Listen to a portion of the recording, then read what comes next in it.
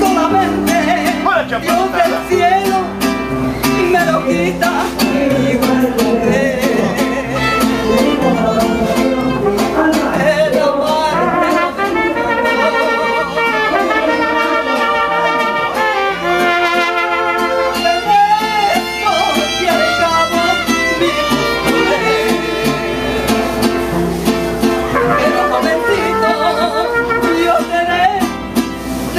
mango.